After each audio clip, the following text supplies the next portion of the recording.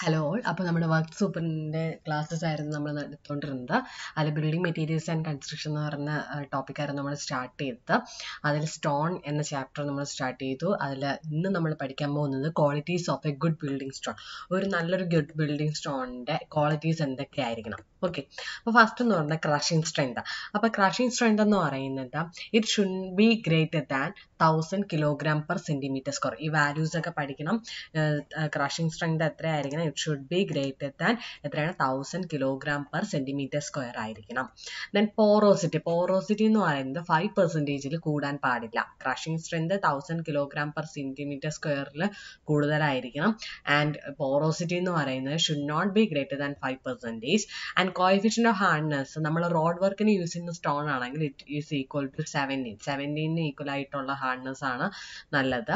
അടുത്ത ഫോർട്ടീനും സെവന്റീനും ഇടയ്ക്കാണെങ്കിൽ it is to be medium hardness എന്ന് പറയും. ഇനി ലെസ് ദാൻ ഫോർട്ടീൻ ആണെങ്കിൽ അതിനെ നമ്മൾ പുവർ ഹാർഡ്നെസ് എന്ന് വിളിക്കും. ഓക്കെ കോവിഷൻ ഓഫ് ഹാർഡ്നെസ്സിന്റെ രീതിയിൽ ഏറ്റവും ഹാർഡ് ഏതാണ്? സെവന്റീൻ ആണ്. അപ്പോൾ റോഡ് വർക്കിനാണ് നമ്മൾ ഈ സെവന്റീൻ യൂസ് ചെയ്യുന്നത്. മീഡിയം ഹാർഡ് എന്ന് പറയുമ്പോൾ ഫോർട്ടീനും സെവന്റീനും ഇടയ്ക്ക് ഇനി ലെസ് ദാൻ ഫോർട്ടീൻ ആണെങ്കിൽ പൂർ ഹാർഡ്നെസ് ഓക്കെ ദെൻ അടുത്ത് വരുന്ന പെർസെന്റേജ് വിയർ പെർസെന്റേജ് വിയർ എന്ന് പറയുന്നത് ഗ്രേറ്റർ ദാൻ ത്രീ പെർസെന്റേജ് ആണെങ്കിൽ നോട്ട് സാറ്റിസ്ഫാക്ടറി അപ്പോൾ പെർസെന്റേജ് വിയർ എന്ന് പറഞ്ഞാൽ ത്രീ പെർസെന്റേജ് കൂടുതലാണെങ്കിൽ എന്താണ് അത് സാറ്റിസ്ഫാക്ടറി അല്ല. എന്നാൽ ഈക്വൽ ടു ത്രീ പെർസെന്റേജ് ആണെങ്കിൽ നമുക്ക് ടോളറബിൾ ആണ്.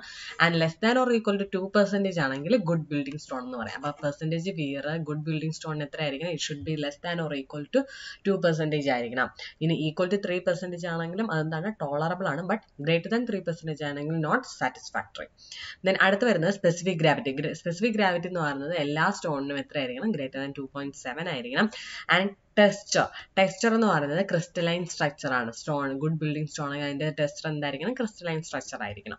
Then toughness index toughness index എന്ന് പറയുന്നത് ലെസ് ദാൻ തേർട്ടീൻ ആണെങ്കിൽ നോട്ട് ടഫ് അത്ര ടഫ് ഒന്നും അല്ല എന്ന് പറയാം നമുക്ക്. ഇനി തേർട്ടീനും നയന്റീനും ഇടയ്ക്കാണെങ്കിൽ മോഡറേറ്റ്ലി ടഫ് ആണ്. ആൻഡ് ഗ്രേറ്റർ ദാൻ നയന്റീൻ ആണെങ്കിൽ ഹൈ ആണ്.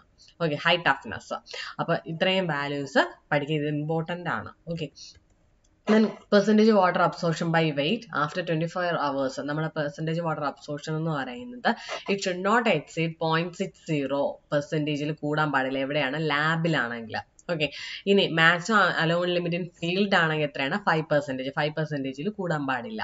ഓക്കെ അപ്പോൾ അപ്പോൾ ലാബിൽ യൂസ് ചെയ്യുന്ന സ്റ്റോൺ ആണെങ്കിൽ പോയിന്റ് സിക്സ് പെർസെന്റേജിൽ കൂടാൻ പാടില്ല. Percentage water absorption than maximum allowed limit in field എന്ന് പറഞ്ഞിട്ട് is five percentage and greater than ten percentage ആണ് വാട്ടർ അബ്സോർപ്ഷൻ എങ്കിൽ നമ്മൾ ആ സ്റ്റോൺ എന്ത് ചെയ്യണം? റിജക്റ്റ് ചെയ്യണം. Okay if it is greater than ten water absorption എന്ന് ഗ്രേറ്റർ ദാൻ ടെൻ പെർസെന്റേജ് ആണെങ്കിൽ നമ്മൾ എന്ത് ചെയ്യണം?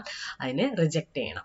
ദെൻ ലൈം സ്റ്റോൺ ഇവിടെ ഒരു പോയിന്റ് കൂടെ പഠിക്കാനുള്ള ഫയർ റെസിസ്റ്റൻസിനെ പറ്റിയാണ്. അതിനെ പറ്റി ഡീറ്റെയിൽ ആയിട്ടൊന്നും വേണ്ട. ജസ്റ്റ് ഈ ഒരു പോയിന്റ് അറിഞ്ഞിരിക്കുക. Limestone resist fire up to about eight hundred degree Celsius അപ്പോൾ എയ്റ്റ് ഹൺഡ്രഡ് ഡിഗ്രി സെൽഷ്യസ് വരെ ലൈം എന്ത് ലൈം സ്റ്റോൺ എന്ത് ചെയ്യും? ഫയർ റെസിസ്റ്റ് ചെയ്യും. ഓക്കെ